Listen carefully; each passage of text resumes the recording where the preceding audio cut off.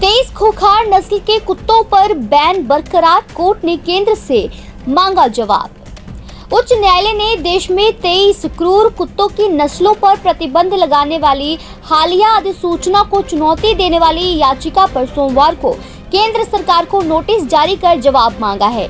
न्यायमूर्ति सुब्रमण्यम प्रसाद ने यह स्वीकार करने के बावजूद भी कि अन्य उच्च न्यायालयों ने ऐसी राहत दी है, अधिसूचना पर रोक लगाने से इनकार कर दिया। इस मामले में याचिकाकर्ताओं में से एक कुत्ता प्रशिक्षक है और दूसरा विशेष श्रेणी के कुत्तों का एक डॉक्टर है। याचिका में तर्क दिया गया है कि भारत में इस निष्कर्ष पर पहुँचने के लिए कोई अध्ययन नहीं किया गया था। कि कुत्तों की नस्लें क्रूर थी और उन पर प्रतिबंध लगाने की आवश्यकता थी। याचिकाकर्ताओं ने कहा कि ऐसा कोई डेटा नहीं है जो इंगित करता है कि इन कुत्तों ने आतंक पैदा किया है, जिसकी वजह से उन पर प्रतिबंध लगाने की आवश्यकता हो।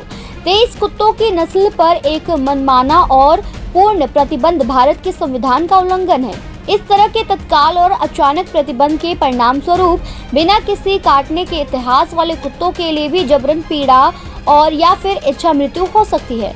उन्होंने तर्क दिया कि केन, कोर्सो, रोटविलर, टेरियर आदि जैसे विशिष्ट कुत्तों की नस्लों के प्रजनन पर प्रतिबंध में किसी तर्कसंगत आधार या वैज्ञानिक औचित्य का अभाव है।